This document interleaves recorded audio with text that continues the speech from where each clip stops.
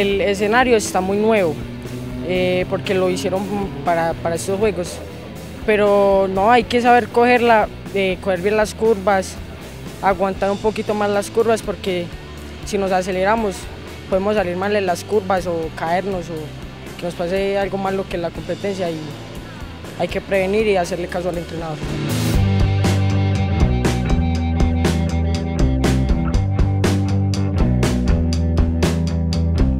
En este momento está un poco lisa ya que nada más es como, como el concreto, eh, ya falta la otra parte y pues esperemos que quede muy bien para que ya se puedan hacer eh, competencias acá.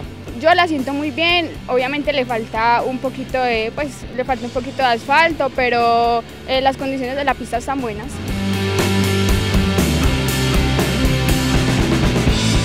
Fue una prueba muy difícil ya que había muy buenos concursantes. Eh, más que todo por el oriente.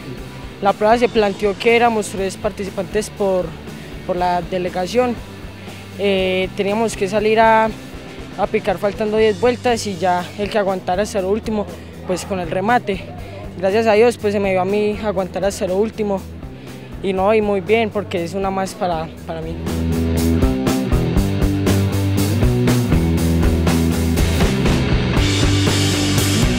Gracias a la estrategia de la entrenadora pudimos quedar una, dos y tres. Eh, el planteamiento se hizo que teníamos que despejar el grupo desde la primera vuelta, eh, empezar a coger los puntos, luego las compañeras, las otras compañeras también coger los puntos para así poder quedar una, dos y tres.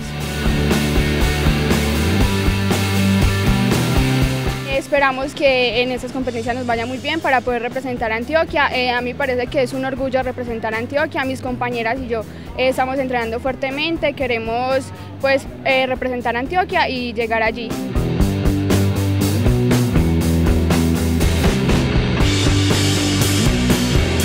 Pues yo creo que va a ser muy duro ya que los campeonatos nacionales, interclubes, siempre se destacan ciertas personas. Entonces pues yo creo que que hay que tener mucha mente porque eso es lo más importante en ese deporte. Soy antioqueño toda la vida, de la chagua, de la chagua, de la chau, chau, chau. Soy antioqueño